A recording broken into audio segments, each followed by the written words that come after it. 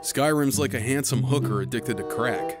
He's down to do just about anything and is permeated with STDs that have gone untreated, including syphilis, which has slowly eaten away his brain and any depth he might have had before he started turning tricks in the airport bathroom. Remember, kids, you won't find any glory in that side of the hole. But like any good hooker, you'll probably get your money's worth and have a hell of a lot of fun doing it. Now that we've gotten our mandatory sex joke out of the way, what is Skyrim? Skyrim is dirty, it's unpolished, and riddled with phlebitis. And fun as hell. You can lose many hours of your life playing the game the way the developers meant for you to play it. Or you can play it the way that their terrible design decisions allow you to play it. So can we level our character to level 50 without even playing it? Well, let's dig in, shall we? God damn it, this game is hard to talk about.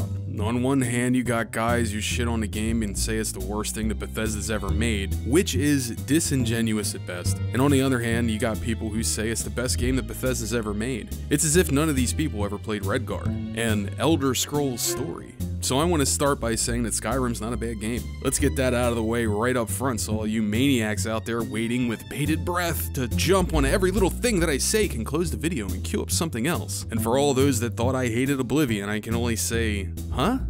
I love that game. But you can critique something that you love. In fact, you should because it's how you grow as a person by examining the things that you enjoy and seeing their flaws. It's how illustrators get better at their craft and how YouTubers make money. So, calm your tits, Mr. and Mrs. YouTube viewer. You needn't get your identity tangled up in a media you like, K. I'm not using any mods for this one and instead opted to go with Skyrim Special Edition for my analysis. It works right out of the box, so no dicking around with unofficial patches or weird glitches in mod ordering. Actually, scratch that. There's plenty of glitches. And it looks good right out of the box, so you don't have to worry about any beautification patches or anything like that. I chose this version of the game for several reasons, chiefly of which is the performance game. The game runs without hitching or frame loss at a steady 60 FPS, and according to the patch notes, this is due in part to the fact that this is on the 64 bit version of Bethesda's engine, so it has better memory management. No longer are you stuck with just 4 gigs of memory, so mod to your heart's content. And in the over 40 hours of gameplay I put in for this analysis, the game never crashed on me once. So that, in and of itself, is a big achievement for Bethesda. From Oblivion to Skyrim, the races have undergone some great and terrible changes. Bretons got fucked right in the pooper by having their magic resist halved down from 25% and having their bonus to magicka reduced from 50 points to fucking nothing! I want you to imagine Todd Howard behind a Breton, holding his head down into a pillow as he cries out for him to stop. And that is a description of what they did to the Bretons. Look how they massacred my boy. Altmer, on the other hand, seem to have been touched in the no-nos by God, and the result is that they are the only race to get a bonus to Magicka, as well as a power that allows them to regen Magicka 25 times faster for 60 seconds, which is about 25% of total Magicka per second. I'll say that again. 25 times faster for 60 seconds. The Imperial race always finds more gold. Basically, they have a 100% chance to find anywhere between 2 to 10 extra gold in all chests. Dunmer can now surround themselves in flames, which damage anyone around them. They can no longer summon their dead grandparents to fight for them, however, so race ruined. Orcs have by far the best melee ability, which is the ability to do double damage and take half damage at will once a day. Why is this so good? Well, just imagine making a stealth dagger orc that does 30 times damage on a successful stealth attack. What about the cat race, the Khajiit? Well, let's just say that their unarmed damage leaves a little to be desired and come back to this topic in the skills section. Dunmer and the Nords have the best racial passives against dragons. Nords get the nicest resists with their 50% frost resist because a ton of NPCs and creatures in this game do frost damage, and a lot of the dragons in late game do tons of frost. And Dunmer get 50% to fire, which is super good against dragons in the early game, and can easily be buffed to the cap. Argonians, on the other hand, have 25% weakness to frost, so that is a hole you're gonna wanna, you know, enchant your way out of before level 10. The Redguard are once again the best at one handed weapons, and they get a 50% resist to poison, which I've never found to be all that useful. Their adrenaline rush, which now only regens stamina 10 times faster for 60 seconds, is useful at times, but not really useful enough to justify going into the menu and fucking around with that shit every time you want to use it. There are three attributes in Skyrim. Would you like to take a guess at what they are? No? It's health, magicka, and fatigue. Guess what they do? The hell? Yep, that's exactly what they do. Yeah, health is how many times you can get hit, and that's a flat value across all races. Magicka is how many times you can make sparkles come out of your fingers, and that is a flat value except if you're an Altmer. And fatigue is how much you can run, block, and do power attacks before you get winded and have to take a nap. And that's it. Couple of problems here with this shit. First off, let's talk about speed. Speed is the same across all races and the only thing that modifies it is the height of your character, but if you ask me how much, I can only shrug. So everyone, regardless of physiology, moves at relatively the same speed, even those that walk on stilts. Uh, oh wait, wait, wait, wait, yeah, cross that out, huh? Yeah, cats and lizard bros no longer have tarsal joints like cats and dogs, which is most likely an effort to simplify the process of animation and the creation of armor, but I, I thought not being able to wear boots was actually a nice way to drive the point home that these are not normal races. They're beast races, so yeah. No race is healthier than another race because apparently environmental factors have no effect on people's physiology whatsoever! In Skyrim, the video game which is the RPG equivalent of Purgatory, everything is neutral, nothing matters, ah fuck the whole thing. And now a message from our sponsor.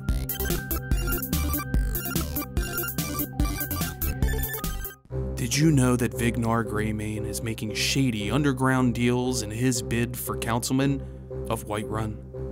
But Vignar is hateful and irresponsible. That position requires the utmost trust in your elected government officials. But do you know what Vignar does in his spare time?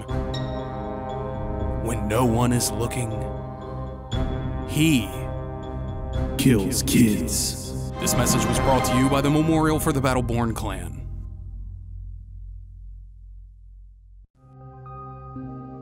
Strength used to modify how hard your characters hit things.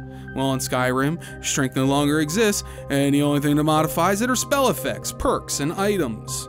How often you stagger is no longer determined by your agility. How much cool shit you find is no longer determined by how lucky you are. Shit, your personality no longer matters. So long as you got a mouth that speaks honeyed words, people everywhere will love you. Even if your breath smells like the inside of a dead cat's asshole and your face looks like a freshly stepped in dog shit. In one game release, Bethesda managed to cull so many mechanics and the depth that those mechanics bring, simplifying everything to the point where you no longer need to really think about your choices. Now, on to derive stat.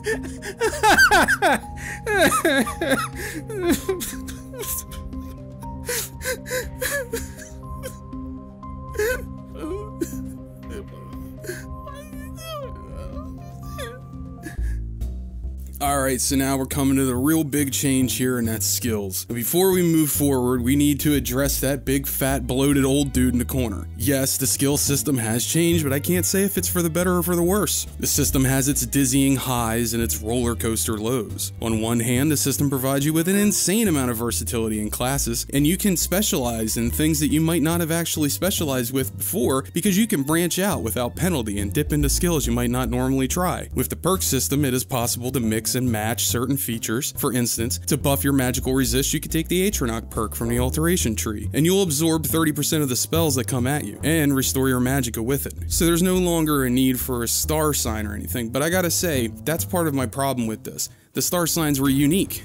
They were cool. They were a feature that you guys basically invented. I mean, maybe Ultima had you on that with the card system before. This was a really good thing. It made the character you were making unique to all the other characters. Instead, now it's just sort of homogenized. Every character you end up making ends up feeling a little bit the same because the character develops because of your habits and not because of a build that you're going for.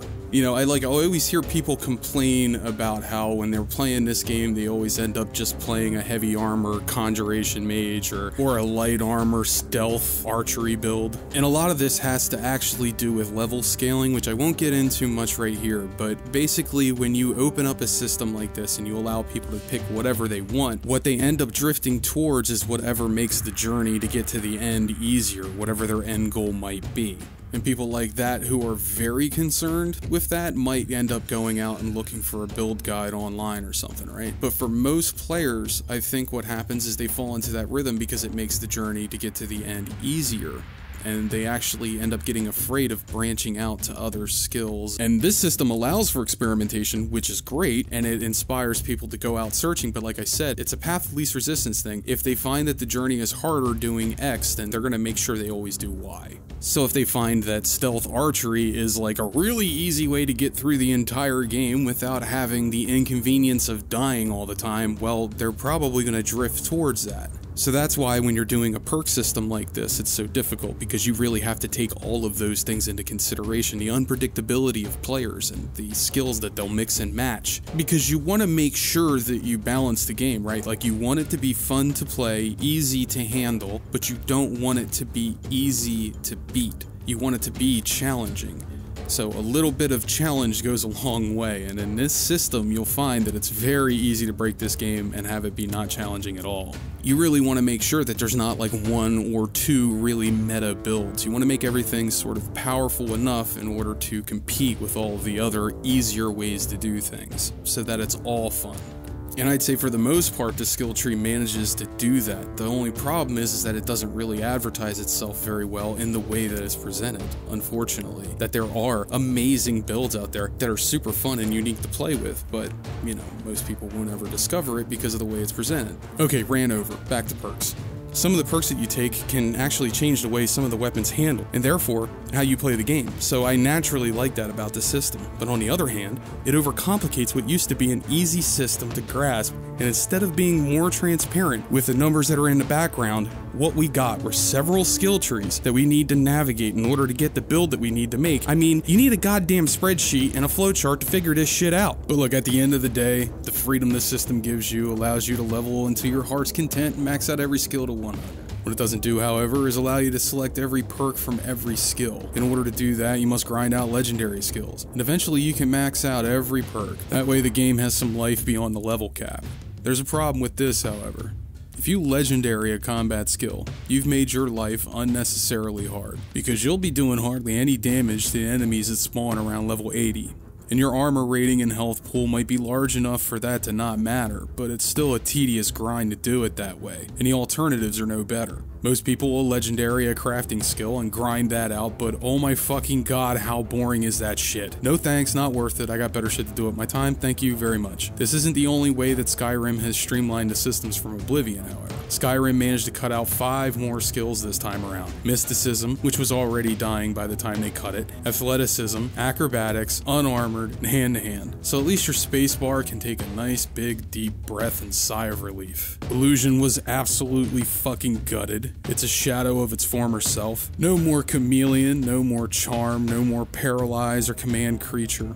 In Skyrim, illusion was cut from 13 spell effects to 8 spell effects. Destruction and restoration get the biggest buff from Oblivion. Oblivion had 24 destruction spell effects, and Skyrim has 32 spell effects, which, if you think about it, is kind of a problem. Skyrim emphasizes straight up killing shit, as opposed to unique ways you could kill people in Morrowind, and to a lesser extent, Oblivion. Here's what I find annoying about this Illusion was a great school of magic. It had uses inside and outside of combat combat, and those uses stretched from warrior utilities like Calm to thieving utilities like Chameleon. Here's a neat trick for you Oblivion fans. See an NPC that's carrying an item you want? Cast Frenzy and Rally on him, and you can kill him without getting a bounty. It's easy peasy lemon squeezy. Guess what you can't do in Skyrim? That. You can't fucking do that anymore because casting Frenzy is considered assault and causes you to get a bounty. I guess it makes sense, but I mean, the fuck? Can I have fun? Restoration has 25 effects in Oblivion, and Skyrim has a metric shit ton, which again is exactly what Skyrim is emphasizing straightforward, streamlined combat, which is easier if you have many ways of keeping yourself alive. Now, look, I'm just as big a fan of shooting lightning out of my hands as any red blooded, patriot, middle aged, balding YouTuber, but looking cool is not a replacement for doing cool things. These skills and spell schools get cut because only a minority of people play these skills, and game developers know this shit because of telemetry, self reporting surveys, and user experience research. That's why they can make fairly safe cuts, but Bethesda doesn't do any of that shit. And instead of using a scalpel, they use a goddamn machete and start swinging wildly. They see a fun exploit born of systems interacting with one another as bugs that need to be ironed out and they see actual bugs as shippable features. Their fucking value system is all over the goddamn map. Spears, blunt, axe, long blade, and short blade have gone the way of the dodo. If you know how to use a one handed weapon, you know how to use them all. And what's really fucked up is that I've heard people actually call this a better system than Oblivion. And I guess in some ways it is, but you know what's really fucking crazy? What really pushes my nipples inside out? It's this goddamn shit. This overly complicated bullshit representative of nothing giving vague promises of what might happen when you buy something from one of its many trees. And a lot of the time, that promise is misleading. Now, there's nothing inherently wrong with these trees. If you do them right, you can have a very interesting system. The problem is, they are very easy to do wrong. Skyrim admittedly doesn't do much wrong here. The problem I have with it is that it's a solution to a problem that didn't exist. The solution for Morrowind and Oblivion was fine. All I would have liked to see was more information on screen while I adjust things. So instead of getting rid of a system that wasn't 100%, what they could have done was show our statistics like melee DPS, spell DPS, armor rating, shit like that on one screen as we increase our stats. A really awesome example of this can be found in Dark Souls games, which, depending on the armor and weapon you have equipped, show you how your stats change with each increase of a given stat. Instead of something that makes sense, we have this overly complicated shit, and a system that was likely made to streamline something to better communicate info to a player, not used RPG systems, in fact, overcomplicates something that used to be simple, but was gimped by a lack of information on the screen. Let's try to make sense of this nonsense, shall we? First, we need to talk about unarmed and. Look how they massacred my boy.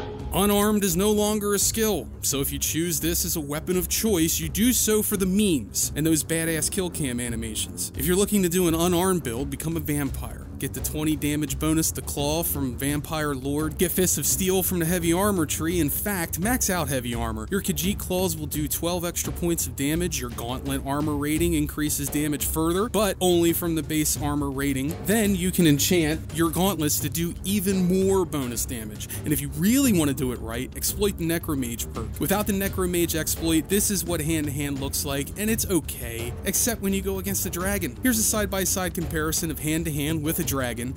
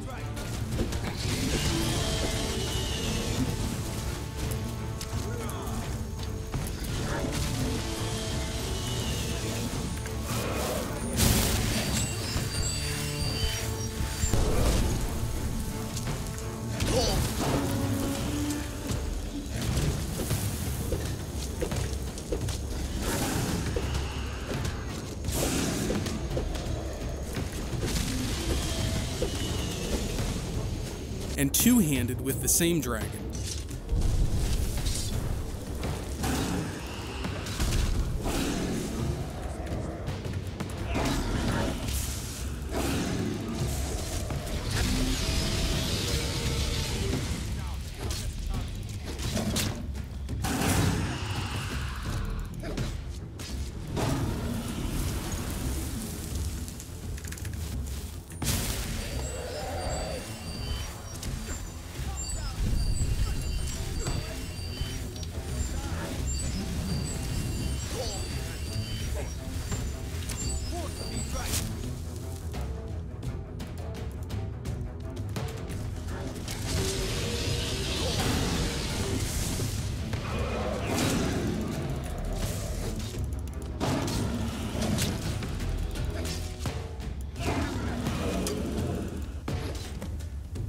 Notice a difference?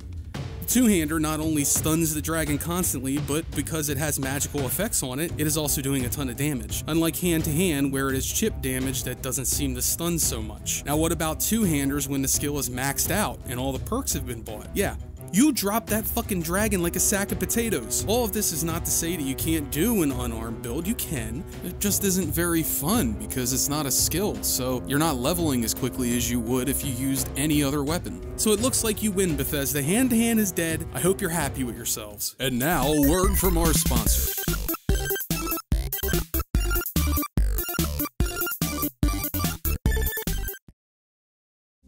Hello, this is Les Tolliver of Pussy Slayer Inc., and I want to talk to you about an opportunity to get the gate to any woman's panties open in just five easy steps so that you can smash that puss into oblivion!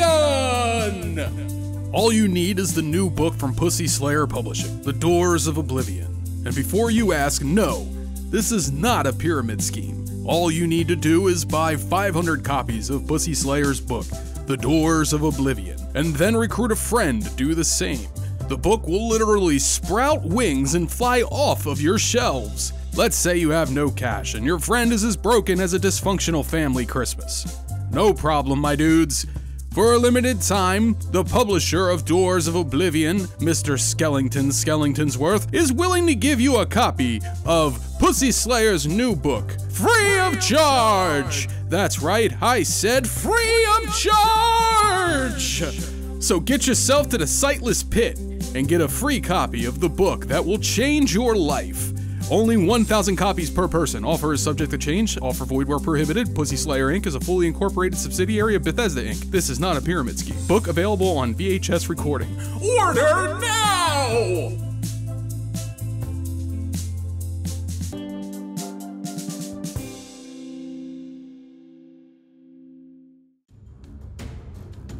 Now, speaking of weapons, let's start off by looking at one-handed skills. The first perk in most skill trees is usually the same per type. For spells, your novice spell cost is halved. With weapons, your damage is increased by 20% per level, and there's usually 5 levels, so by the time you max that skill, you'll have about 100% extra damage. I will not be mentioning this perk again, so for two-handed and archery, just keep that in mind. I found that in this tree, swords are the most underwhelming while maces and axes seem to cut motherfuckers down pretty much quick like and in a hurry. Mostly because each weapon subtype gets their own specific modifier. So for instance, Bladesman gives you a 10%, a 15%, and a 20% chance of doing extra crit damage. And let me tell you, this perk is bullshit. Level 1 may give you a 10% chance to do crit damage, but guess how much crit damage you actually do? It's zero. Yeah, you do zero extra crit damage. Yeah, I didn't believe that shit either when I read it, but it's true. In classic fucking Bethesda, you have to invest 3 points into this to get a measly fucking 50% extra crit damage, where maces enjoy a perk where you ignore 25%, 50%, and 75% at max of the enemy's armor rating. I know what weapon I pick when I'm going one-handed, but I'd be wrong, see? Because NPCs are the only enemies in the game that have armor rating. According to running the console command get AV space damage resist, no animal or monster, aside from Jermora, have an armor rating or melee damage resist. That means that what you'll be fighting roughly half the game will not be affected by Mace's armor ignore perk. In fact, no single weapon should ever be used for all occasions. To be truly useful, these perks would have needed to be purchased together so that you can use one-handed weapons against monsters and some other type of one-handed weapon against NPCs wearing armor. This isn't something communicated very well by Bethesda. For example, in the Witcher games, if you don't use the correct type of weapon for monsters, your damage to them falls off dramatically, which tells the player they're using the wrong weapon. That's also why silver's used, because we have developed an automatic association to silver slaying monsters like werewolves. I think that this could have been communicated in Skyrim in a couple of ways. One, you make three categories just like the categories in the tree currently, and you combine those weapon types, making each perk point used go further. So for example, combine swords and maces into one perk point. Sword Swords get 10% crit chance and an extra 25% extra critical damage. The second group, axes and swords, get the same kind of perks, as does maces and axes, which is the third group. By doing this, you're communicating to the player that they should always be using different types of weapons on different enemies and have each weapon play an important role in killing an enemy of that type. Something maybe about axes being able to cause extra damage against monster types feels right, maces being good against armored enemies as good as it is, and swords being good at big bursts of damage against unarmored foes like monsters or light armor penetration. I think that those values needed to be doubled in order to be useful. Maybe if you didn't cap damage resist, you could have made maces a little more overpowered against NPCs, and that may have driven the point home to people, especially when they started swinging against an enemy and doing basically no damage. But then they switched to a mace, and oh, it's devastation time. But that might have been a bridge too far in terms of balance, which would likely go right out the window. The other fuck thing about the sword perk is it goes off of base weapon damage, which means no bonuses from enchantments or sharpening at the smith. It's kind of dog shit, and anyone telling you different is a liar working for the Empire. This is also the tree where you get dual flurry, which increases the speed for dual wielders by 20 and 35%, and dual savagery, which makes your power attacks 50% stronger. And I want you to imagine using an orc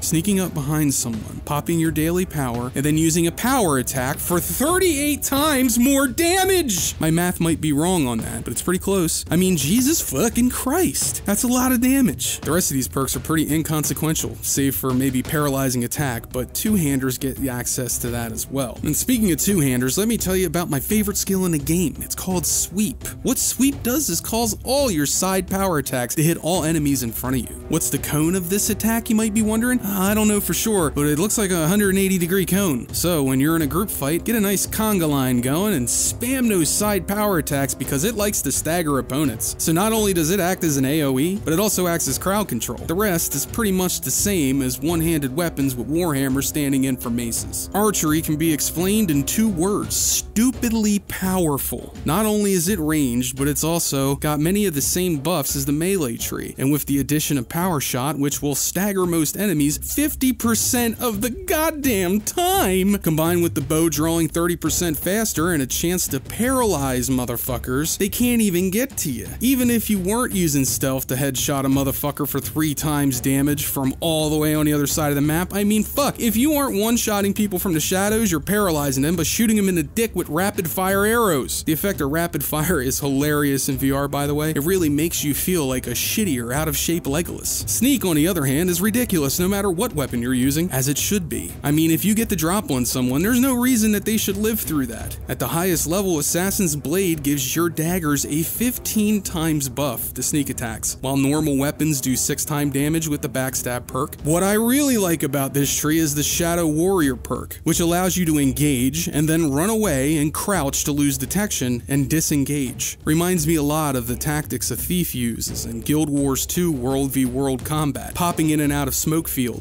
and nearly permanent stealth to pop a couple shots off on people guarding points, slowly whittling their health down to nothing. It's a nice premise, but if combat isn't difficult, which it likely isn't for you at this point, then popping back into stealth after being discovered isn't likely going to get you that much use, especially since dual savagery exists and is a thing. Block is one of my favorite skill trees, and not because I prefer to sword and board, but because of quick reflexes. There's seriously not a better skill in any tree for a melee character. You become Neo, essentially, dodging power shots and getting behind enemies that thought they had you dead to rights. Now, I've heard shield charge is also really good, but I haven't played enough with one-handed characters to really come up with an opinion on that one. Another great perk in this tree is elemental protection though. Getting to literally block a spell is nice, and that 50% damage mitigation is sexy as fuck against the Dragon Boys. This is a great tree for anyone interested in giving the enemy a bloody nose or just being fond of beating things to death when you're right there in their face. Heavy armor. Now let's talk about reflect blows. Now, I'm gonna come right out and say this right now. I'm not totally sure how reflect blows works, but what I think happens here, and this is from reading what other people have said of it and kind of doing my own little bit of research here, I can tell you that this is not a perk to even bother taking. So from what I understand, after your damage mitigation, which is capped at 80% and can be brought up to 97%, if I understand how the math works with block, all of that is taken away from the damage done to you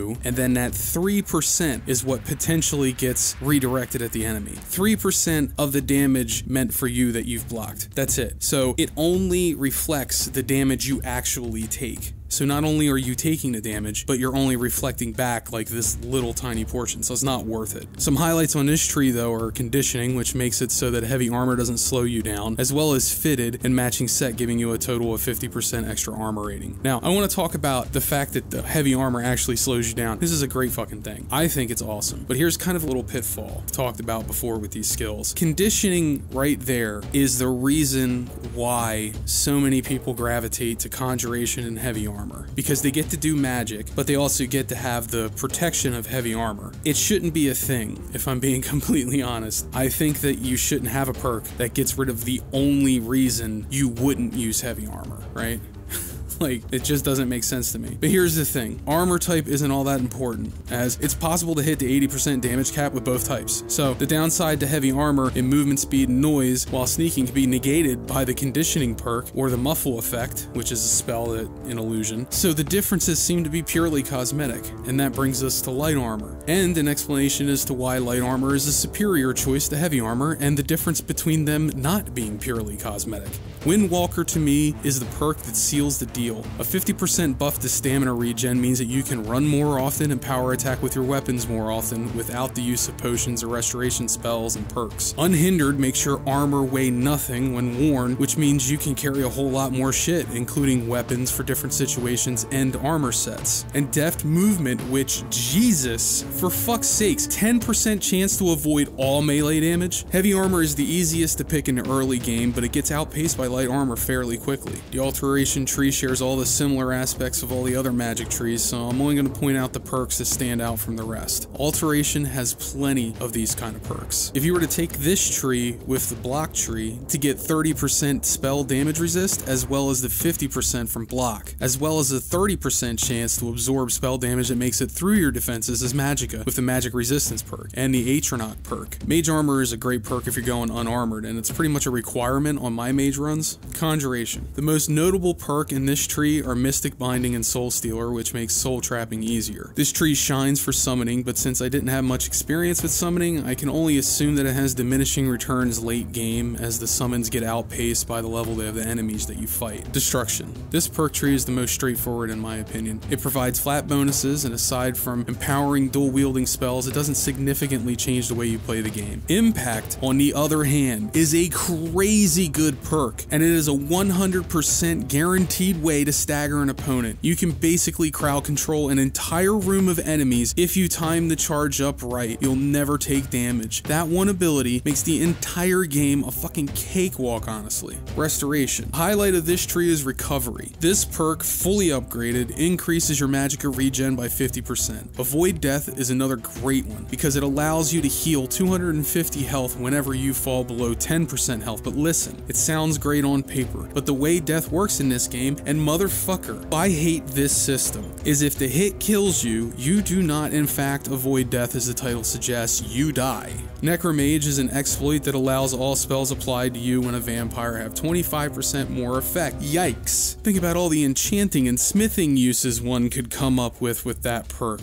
Ward Absorb is another highlight for those going unarmored. Your warding spells absorb spells and restore your magicka. Illusion. Even though this spell line was gimped greatly, this perk tree has one really good perk Quiet Casting. All spells and shouts are cast without sounds, so you can cast spells without breaking stealth. So, you know when I said that casting Fury on someone would get you a bounty? Well, if you have the silent casting perk, you can cast that spell from stealth and avoid the bounty in theory at least. This means that you can get caught stealing, aggro the entire town, escape, and use the stealth to disengage and calm all aggro from stealth and walk casually out of town. Give it a try on a playthrough and see if it works for you and let me know in the comments below. I'm lumping all the crafting skills together because they're all really the same with just a few standouts. For enchanting, the standout here is extra effect, which allows you to place two fucking enchantments, motherfucker! Arcane Blacksmith allows you to improve weapons and armor that have enchantments, which is a pretty important perk in smithing. And alchemy has the purity perk, which takes the negative effects off potions you make and positive effects off poisons you make. Thief utilities have some pretty unique perks as well, though I find them less than useful for me. Firstly, I don't do too much pickpocketing, as isn't up to me whether I fail a check or not, and it always feels too random. I actually liked this system from Kingdom Come Deliverance if it had a little more responsiveness. Lockpicking, on the other hand, is a useless tree, but not because it's lame. There are some good perks in there, such as Unbreakable, which makes it so that your lockpicks never break, and Treasure Hunter, which increases the chance of finding one extra weapon or armor, which may or may not be enchanted by 50% in generic chests found in dungeons. The actual percentage chance is about 10 to 15%. The reason I never bother with this tree is that lockpicking is so unbelievably easy in Skyrim that I've never needed to invest in it, so why waste the points? And let me tell you that by the time you get to like level 13, you're gonna have about 60 lockpicks in your inventory. You're not gonna run out. And that will just about wrap it up for the skill trees. Like I said at the beginning of this chapter, the skills reworks has its ups and its downs, but it is overall an improvement over the older systems because of the freedom it gives you and how much it changes up gameplay later on. The real problem I have with all these changes is the nixing of the attribute system, but again, nixing the attributes might have given them the freeform style that they needed to make all of this possible. So maybe it was a devil's bargain, less depth in one place for more depth elsewhere, but I don't like it by default that depth is removed. Call me an elitist. I, I don't know. I'm an RPG elitist. I just like seeing numbers. Numbers are very representative of what's going on in our world. It kind of helps us predict how things are going to go, right? So if we have all of the numbers at our disposal, just all of them, and we can see them and are transparent, you know, we can make decisions much better, more informed. Eh, whatever. Maybe I'm just crazy. All right, moving on. From an aesthetic standpoint, Skyrim's pretty on point. Character models are crisp and stylized without losing the look of Elder Scrolls. Elves still look like aliens, Khajiit still look like cats, and Argonians look like they give terrible blowjobs. The Nordic setting adds a lot of personality and flavor to the design of weapons and armor, and on the special edition of Skyrim on PC, the texture resolution looks a lot better compared to vanilla, but from what I understand, they didn't actually like re-render the texture maps from the high poly sources for things like normal maps or anything like that, and they most certainly didn't redo the diffusion maps from scratch, so uh, apparently they took the HD textures from the DLC and resampled them up to 4K, which results in textures that look a little bit muddy when you compare them to the modded vanilla Skyrim. I will say this, I didn't notice too much of a difference in the two versions save for the God rays in Skyrim and the rain occlusion, which is a fancy way of saying that rain doesn't go through roofs anymore. The graphical design is just so much more professional than their previous outings. The UI was given a bit of sheen even though it's still consolified dreck that hurts my eyes to look at, and for some reason you can never seem to detect that I have hovered my fucking mouse over an option. The minimalist monochromatic borders and directional menu system is a nice change of pace, and the addition of a favoriting system is exactly what the series needed. I remember being impressed with what Bethesda did when I played this game for the first time because at that point in the company's histories, their graphical ability, when it came to characters at least, had been memed on for two straight games. Plus now you can have, you know, beards. Not only had the graphics gotten better, but their character creation tool got a big and much needed overhaul. Remember what I said in the Oblivion analysis when I said lips, eyes, and nose? Well, they changed it for the better. There are many different nose types, eye shapes, and lips to make your face and the rest of the NPCs in the world look unique. As far as magical effects, shooting fire and ice and lightning from your hands was all that any reviewer could talk about when the game was released, and for good reason. It's a pretty cool effect that I hadn't seen done with Magic in first person games yet. Overall, I think that Bethesda kinda knocked this shit out of the park. You know what they didn't knock out of the park though? Stores. In particular, how they handle them, I mean. So as far as I could tell, the way that the NPC shops in-game work is that everything they sell is contained in a chest that is underneath of the ground. So if you can say, find the hidden place that Bethesda keeps these chests, like say in Dawnstar, you would be able to sit there forever, selling and reselling the same gear to the Khajiit outside to level your speech to 100, or simply steal everything, come back later and do it again. You don't even need to play the game. It's a 10 out of 10 design. Usually when populating towns with lists of shit like this, a programmer might use an external list, like a JSON file, or some kind of proprietary file system. And in that list are things like the items that a vendor contains. Some games even use those lists as a database of all items contained in the game, and when they need to pull an item from that list, it is easy enough to do so without too much overhead. I guess this concept was foreign to Bethesda and instead opted to go with this chess system, the same chess system they use Fallout 76. I want to point out that this was the solution to a problem that was already solved years ago, but it is a solution to a problem that was created by Fun Systems from previous entries in the Elder Scrolls series. For example, stealing. It used to be that everything that an NPC sold you was pulled directly from one of their many shelves, and if you had a half working brain, you could come back to that shop, like in Daggerfall, and steal everything from the shop and sell your ill gotten to another shop. In Morrowind, they fixed the imbalance issues in the economy by making it so every shopkeeper in town has a crippling skooma and moon sugar addiction that allows them to stay up all night and never sleep. Now, that may have chipped away at a slice of your immersion for sake of balancing the economy, but there was a much better solution. Just do guard shifts. Have guards shift in and out, and in the middle of the shifts, if the player times it right, they could steal everything from the shopkeeper. This would have created some pretty neat little gameplay situations where the player has to work their way out of a constantly changing situation. But Skyrim's like, nah, fuck all that bullshit. Chests with all the shopkeeper shit are under the floorboards where the players can't get to them, but they never seem to expect shit like this, do they? And as a result, Bethesda is always getting caught with their pants down when we, the player, break their games as if we are all collectively a part of Bethesda's quality assurance department. And now, for a special announcement from my friend, Pussy Slayer 23.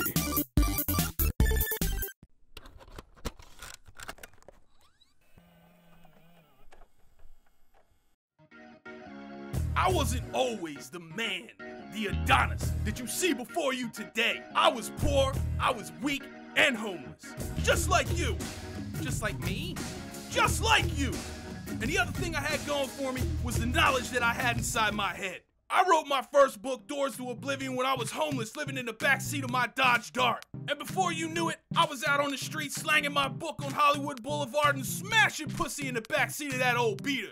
Through hard work and dedication, I managed to find buyers all around Tamriel, and Riften, and Riverwood, and Whiterun. In a few weeks, I had amassed a fortune equaling 14,000 gold. But that wasn't enough for me. Mediocrity is never enough for the driven. I heard that there was a camp just outside of Whiterun, and in that camp was a guy that knew how to turn iron into gold. Surely this would be a profitable venture, so I went to have a word with those lovely people. I figured they'd be bros, but they were not very bro-like. They were the furthest thing from it, my dudes. Now you might be thinking, oh no, Pussy Slayer, whatever will you do? Well, I'm not just the slayer of puss, friends. No, when events call for it, I'm also a slayer of men. I wanted to bargain with them, play the role of the businessman, but these motherfuckers done brought out the old me and put these bitches on their back. The book I needed was in the table in the back of their little cave, and now I had the ability to turn dog shit into bling. In just a few days, I managed to amass a fortune. And you know what they say, you have to look the part you're playing. So if I want people to think I'm a magical son of a bitch, I need to look like one. But iron isn't infinite, my fellow puss slayers in training, and money isn't everything. If you're gonna attract the kind of ridiculous hentai women I attract, you need a body to match your 401k. How do I do it? Path of least resistance. See, you need friends. In fact, you need an entourage. And if you're the type of person that likes to get up in people's faces and stab them in it, then I know just the type of friends that you're gonna wanna get. Go to Whiterun and befriend the companions. Do their little missions until the old man running the place croaks and names you the head of that particular establishment. Once the man is put out the pasture, turn that place into a strip joint and have your friends join you on a little excursion. This trip is nothing more than an excuse to get them to train you. And just like a true friend, if you ask him to borrow your money back, they'll give it up willingly. And then you can rinse and repeat until you have a body like mine. Now let's say you out there banging on a bandit's head with a club and realizing, man, this shit's taking too long. You need a weapon befitting a pussy slayer. But this is no ordinary weapon. You have to break the very laws of physics. And I'm gonna teach you how to do this manly feat with only a wooden plate. Take your plate in your tiny little virtual hands and press your forehead against it with all of your strength. Repeat the mantra I have learned the ways of puss. All of its mysteries are open to me. And just as your heart chakra opens, bam! You're in another fucking room on the other side of the fucking wall. On the table is the prize, a weapon worthy of one of your title, the Ebony Blade. This weapon requires nothing of the user. No tactics, no potion chugging, nothing, no sweat. Just sword swinging, toe tapping fun. And if you're worried that your favorite weapon's becoming useless later on in the game, and if your entourage is no longer pulling their own weight, you got a clockwork orange them motherfuckers right in the nuts. And now you're ready to play the game, and all you needed was your index finger. And Pussy Slayer, slaying puss since 1993. And this has been a rant from Strat-Edgy, and now that you heard it, go take a bath. Everyone in the bunker's too embarrassed to say it, but you kind of stink. All right, final verdict time. How do I feel about Skyrim? Well, I kind of fucking love this game, but for reasons totally different than the reasons I loved Oblivion and Morrowind. Skyrim's the type of game like Grand Theft Auto titles that you can just sit down no matter what's going on in your life and play the game without distractions or breaking your brain. The mod community has continued to support this game in ways that are both creepy and astounding. Skywind and Skyblivion are just two of the most notable examples of the kind of dedicated following this game has, and with good reason. So yeah, final verdict. Yeah, I kind of love Skyrim. Just want to say thank you to everybody for sticking around and everything, and uh, the people who've been supporting the channel, been out there, you know, sharing the video on Twitter and everything. Uh, I think it's uh, Rekieta Media. Uh, I'll put a link to their Twitter down below. But uh, they recently shared out our video and got a big boost for uh, hypernormalization, which that was a video that kind of flew under the radar a little bit. And I want to thank all the people who are patrons. You guys keep me afloat. And I have a very special announcement. Uh, I have just recently put in my two week notice at EA, Electronic Arts. I no longer work there as as of two days ago. well, I still have two weeks, but uh, I will no longer be working there. I'll be doing YouTube full time for a little while and see if it works out for me. So, uh, more than ever, if you guys are interested in supporting the channel on Patreon, let you know, go ahead and give it a visit and you know, kick me a dollar or whatever. If uh, you're not interested in supporting it that way, you can always support us by sharing the video on Twitter. Uh, the next video we're going to be working on is Disco Elysium. That video is going to be I don't know. I don't even know how I'm going to tackle that video, to be honest. It's such a weird game. Um, so expect that out. Hopefully we can get it out in two weeks. If not, we might have to start chunking these things. Skyrim is such a big fucking game, and I really wanted to break that video up into several pieces because it's just such a big fucking game. So I'm actually thinking about doing a new series. Uh, it'll be uh, it'll be based on the factions of these games, so like Oblivion and, and, Skyrim. I might be giving each faction its own video, but I'm not quite sure how to tackle it yet. So if you guys have any ideas on how you'd like to see me tackle those topics, please let me know. Or if that's something that just doesn't even interest you at all, let me know that too. All of that stuff's very valuable information because I want to keep you guys interested in watching. So uh, anyway, yeah, thanks for sticking around all this time. Um, so next video is going to be Disco Elysium, and then after that, we're probably going to tackle the Fallout series, or we might go back and do the Oblivion factions, the Skyrim factions, and then the expansion packs, which really they deserve their own video. So anyway, uh, thanks everybody. Peace out.